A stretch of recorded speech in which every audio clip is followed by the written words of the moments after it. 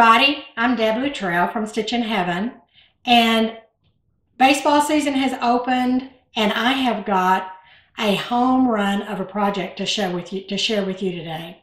Go Rangers! Today I'm going to be talking to you about Scrap Crazy. Scrap Crazy is my favorite project because it's fast.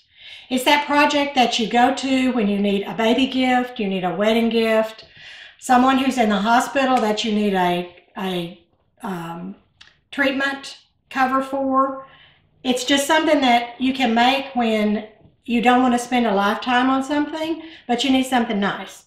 So that's Scrap Crazy. Scrap Crazy is made um, using, best using layer cakes or 10 inch squares, which is what we're going to talk about today. I want to show you the quilt. This one I have behind me is made from a collection of layer cakes by uh, Timeless Treasures. And it is a beautiful way to do a patriotic, to do a quilts of valor. And look at the backing on this quilt. Isn't that beautiful? So your, your quilts are going to look any, you know, any way depending on how your layer cake is.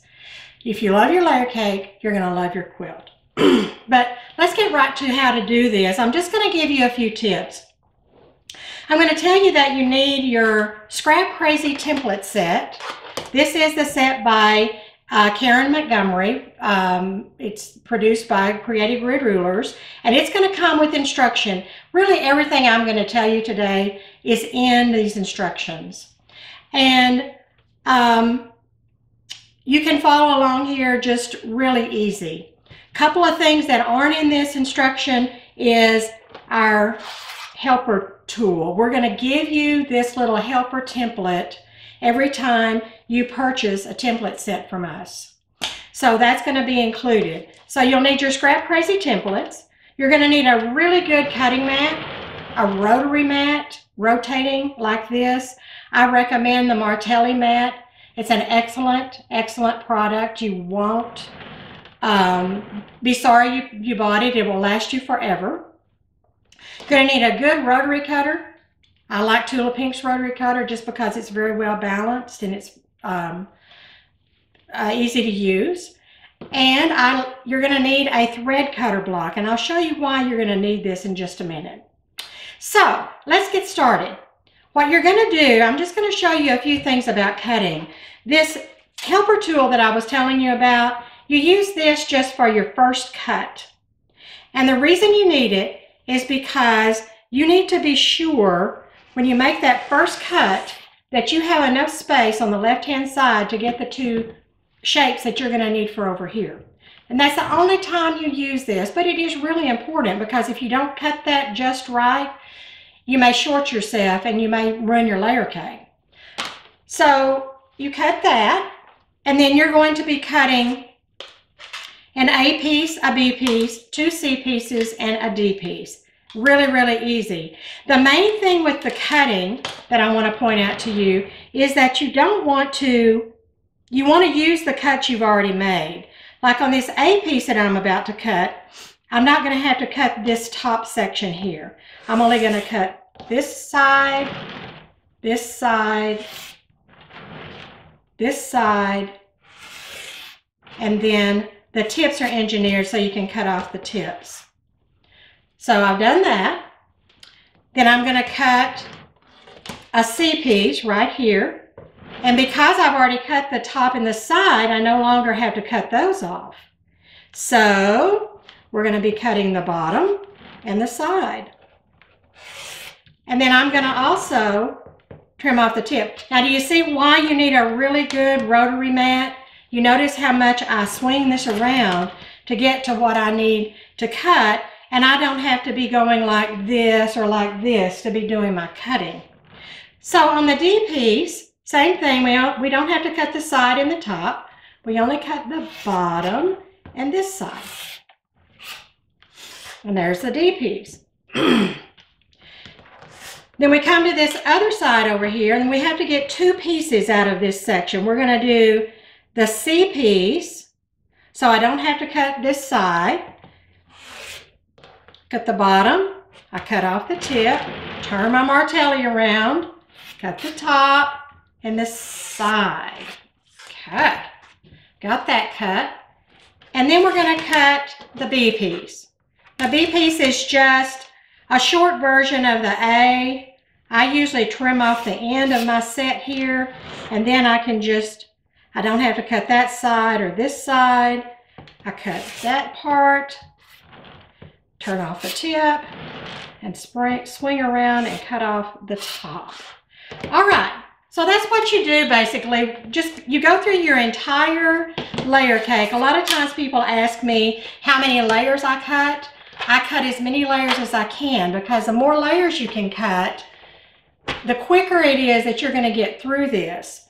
Now, once you cut your all of your layer cake, your stack is going to look something like this.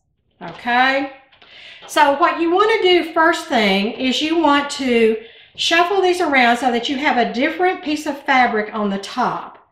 It doesn't matter how you do that. Uh, there's no scientific, you move three, you move four, anything like that. Just make sure the top piece is different. And then your entire layer cake will be shuffled. So uh, you're going to follow the instructions. and the instructions are right here. And it's going to tell you to sew your C piece to your D piece, which is this right here. So you're going to take this to the sewing machine and you're going to sew this entire set together. So there'll be 42 of them. Um, or 40 if it's a batik layer cake. A regular layer cake has got 42. And so however many pieces in the layer cake is how many blocks you're going to have. So you'll either have a quilt that's five blocks by eight blocks, which is 40, or you'll have a quilt that is six blocks by seven blocks, which is 42. The cotton layer cakes, um, like this one from Moda, has got 42 pieces in it. The batik ones have 40. Why they do that, I don't know. But anyway, so you're going to cut and you're going to sew this entire stack together and you're going to chain sew it. And chain piecing means that you don't stop between uh, and cut your thread between pieces. Once you get that finished, you're going to have a long flag of chain pieced uh, pieces sewn together. So you can either take your scissors and you can cut those apart one by one, or you can use your thread cutter block, which is this. And you can take those pieces that are sewn together like this, say pretend these were sewn together, and you can just cut them like that, and it's really, really fast. We make these at Stitchin' Heaven, so this is, um, this is a really good tool to have in your, in your toolbox for any kind of chain piecing.